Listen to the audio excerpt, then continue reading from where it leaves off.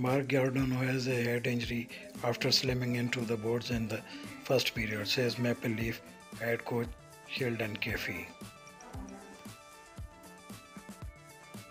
In just his fourth shift of the game, Giordano joined the rush with Pontus Holmberg and got a stick on the pass from the forward before sliding hard into the end boards.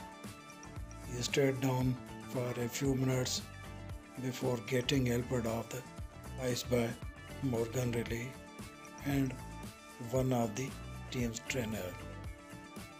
Thank you for watching this content and please stay connected with us for further updates. If you are new to my channel, please like and subscribe to my YouTube.